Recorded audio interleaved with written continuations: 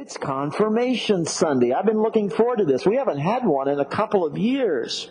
And so we, we're recognizing our youth on their journeys of faith. This is a very special time filled with lots of opportunities and challenges. And I just want to say spending time with these guys was wonderful. Reminded me of my youth. Times of wondering with an A and wondering with an O how many of you went to high school camps and things and church camps when church camps when you were growing up? And I did too. And I remember longing for if God would just give me some sign, you know, while I was sitting in those beautiful mountains of western North Carolina to which we had retreated. Or I remember watching the water change into different hues on Lake Yale in central Florida during evening vespers. And I certainly remember the consciousness raising experience of going off to college and beginning to learn some things about religion that they never told me in Sunday school class. Reflecting on the faith and the journeys of our confirmands, as well as all of us, made me think again about the landmarks in the development of faith and a lot of great work has been done in understanding the stages of human development in our lives. Scholars like Jean Piaget, Erik Erikson, Lawrence Kohlberg. But one of the people that had such an influence on me in helping me understand the development of the stages of faith was Scott Peck. Remember Scott Peck? What a great author. In one of his books, I had the privilege of meeting him and having a class with him many years ago. He had just written the book, A Different Drummer, about how we can build community and save the world. And in that book, he outlines, he gives a model for the stages of faith. It's a simple model, much simpler than many others, but that means I can remember it. And yet it's also, I think, very profound. And I use it often in life when I'm dealing with people. So let me just share with you again this model, these four stages of faith. First, most young children, and some adults even, fall into stage one. He calls it the chaotic, even the antisocial stage. You know, it's quite natural for children to think that the world evolves around them. Do you, do you remember this? Have you seen this? Because it doesn't take very long for them to learn the word mine. This is mine. You know, we love toddlers, and they're sweet, and they're cute, but they learn quickly also, don't they, how to get their way. And we love them despite their sometimes antisocial antics. But we never leave them alone, do we? Because if we did, they would create something like in the novel The Lord of the Flies. But gradually, as children, you grow, you're socialized, you learn the give and the take of being in community. You can't have everything. However, Scott Peck does tell us that some children grow into adulthood without ever making it out of the chaotic antisocial stage. They stay self-centered, amoral, manipulative, governed by their own will. Oftentimes, as youth or as adults, they will end up in trouble because of this, maybe even jail. However, I want to quote you. Scott Peck wrote this in 1987. Some adults in this stage are disciplined enough to become powerful leaders, even presidents. He also says some of them become clergy too, so I have to take that to heart, but that's a little scary. Stage two is the formal institutional phase of life we grow up and we have to learn the rules of society. What's right, what's wrong, what's socially acceptable in order to find our place in society and begin to enjoy the joys and the challenges of living and sharing and playing together. Now, stage two can be challenging as we're young adults because it teaches us disciplines. It sets the boundaries. It's kind of the law and order phase. And you learn this whether you go off to college or join the military, whether you're in corporate America or the institution of marriage. So our first introduction to faith or spiritual community in this stage is typically through the institution of religion. And faith in this stage Religion is introduced to us often as rules. There's the Golden Rule, there's the Ten Commandments, there's the Sermon on the Mount, and God comes across kind of like a friendly uncle who wants to remind us to stay in line. He'll reward us if we'll be good, and He will gently punish us if we're not. Learning to appreciate and practice tradition is extremely important in stage two. Now, adults in this stage often need, young adults and others, structured religious institutions to help them manage their lives. This is where we get creeds, so you know what to believe. We get rules, rule oriented religion.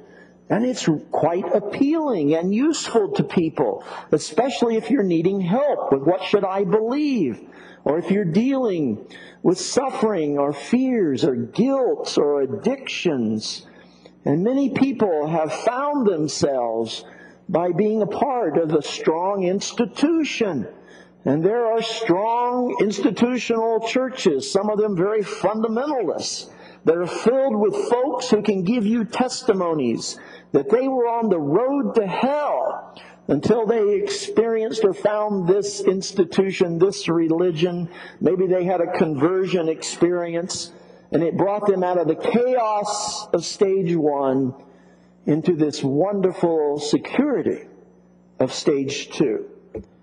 Now, a lot of us have rejected or, you know, that kind of tight theology and faith of stage two churches, churches like Calvary Chapel. But I want to say that they do help a lot of people deal with the chaos in their lives and probably in ways we cannot. Many of us were raised in those kind of structured churches, weren't we? Lots of rules and boundaries, whether Baptists, many of you were Catholic, However, after having internalized the values of our tradition, the time came for many of us when we no longer needed those external, doctrinal, institutional rules to run our lives. And so we were ready for what Scott Peck calls landmark number three, the questioning, individual stage of faith. And in this phase, especially in the beginning. We're not always sure there is anything to believe in. We're not sure there is a God out there. Many people in this stage, many of our young people will define themselves as agnostic or atheist. So stage threeers don't need to believe in Moses or Jesus or Buddha or Muhammad as the authority for their life. Now, on the positive side, this individual emphasis of stage three means that we're open to travel the roads less traveled. Stage three is a time to question, explore, seek, search. And when you seek and search, you develop some new interests, some new beliefs. You master new skills. You find new truths in education or business or science or the arts or faith. It almost goes without saying, but our modern society greatly values stage three questioning. It's at the heart of our college and ed- university system. We want people to question and discover and be creative. Our whole education and reward system is based on it. And stage three people, although they're often highly secular and unchurched, they're also usually highly principled. In fact, they are often more moral than religious folks in stage two. When we were working to become an open and affirming congregation, and we were trying to change attitudes in society about human sexuality and gender identity and sexual orientation and marriage equality, our allies, our progressive allies in that cause were more likely to be stage three secularists than stage two Christians. While the beginning of stage three is questioning, as you move along, the advanced part is seeking. And this is the time in our lives when we look for new roads of meaning, usually around middle life. In stage three, we're finding more and more of the pieces of the puzzle of life, but we're never quite sure we can put it all together. If we stay in this stage forever, we will remain rather agnostic. But if enough pieces of the puzzle come together to begin to form a whole, a worldview, then we may find ourselves entering stage four, the mystical. Now, mysticism, that is a strange and difficult word to describe.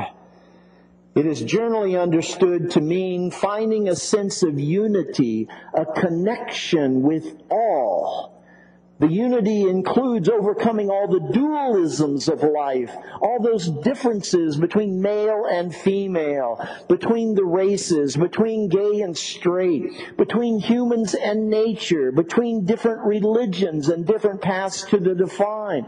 The mystical stage is communal. It goes beyond tribal mentality beyond nationalism, even beyond patriotism. It seeks to be a citizen of the world. Mysticism also embraces, as it gets its name, mystery, the unknown, not knowing. So you can't be in control, you just want to be part of it. In mysticism, we become better at shedding our preconceived ideas and notions so that we can learn to enjoy the journey of just discovery.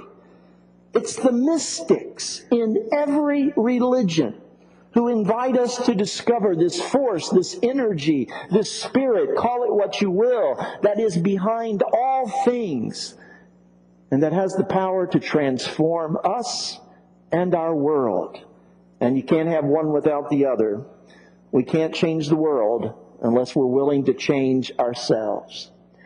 You can get the mystics together from all the religions Muslim, Christian, Jewish, Buddha, Buddhist, Hindu, Sikhs. Get the mystics together in a room, and there will be peace and harmony, not fighting. Well, this model that Scott Peck offers us of stages of faith I think it has good news and bad news for Church of the Foothills. Most churches function, function best at stage two, that formal institutional phase, with some mysticism. Many churches, though, aren't very good at embracing the questioning agnostic stage three phase. Conversely, I think it's fair to say, we at Church of the Foothills, we're very good at the questioning stage. Would you agree? We're also trying to grow into stage four mystical communal. Yet we're not good at that really strong, formal, stage two, creedal institutional church. And because we're weak at stage two, we're not great at bringing folks from chaos into structure. And that includes troubled young people as well. Let me give you an example. In our intellectual stage three need to be open minded and informed, we like to explain that stories like Noah and the flood is a myth. We know from historical study that was influenced by the Babylonian epic tale of the Gilgamesh. So the Genesis story of the ark is not an actual historical account of saving all the creatures of the world, and certainly the entire world was not covered in water. Meanwhile, the four-year-olds down in our preschool or Sunday school, all they want to do is just play with the animals in the boat and color the rainbow. What I'm saying is it's important to let children learn at their own level, their own stage, without us imposing our critical thinking upon them before they're ready for it. And that's something we try to be careful with in our education system here. Now later, when they grow into adolescence, maybe go through confirmation, and they're doing their questioning, some of them will declare they're agnostics. They may say, I don't believe in God. And when they do, we will say to them, Welcome to the questions. Now tell me about the God you don't believe in because I probably don't believe in that God either. People live through these different stages at different times in their life in every religion. There are peaceful, inclusive, stage four mystical Jews and Christians and Muslims and Buddhists, whatever, and humanists. There are also people in every faith tradition who are ready to argue and fight, who want to convert others to their way, who will conduct a holy war at the drop of a hat because they have never moved beyond stage two religion. I believe that the true spiritual journey of any path is ultimately stage four mysticism. But we have to travel through all the other stages first. We can't just jump to four. You can't reach four without that chaotic energy that you get from stage one. Without some structure and boundaries that were given by stage two. And certainly you can't get to four if you don't go through the questioning phase of stage three. And this spiritual journey is not a straight line. It's more like a spiraling learning. And at some level, we have to recognize that none of these stages is the result of our own efforts alone. But there is a spirit deep within us constantly calling us to new awareness and consciousness. And you also need a community made up of people who are all over the map on this road, but who want to support each other. And perhaps, even when we reach stage four, that ultimate mystical communal goal, what we will learn is that it's just the beginning. Amen.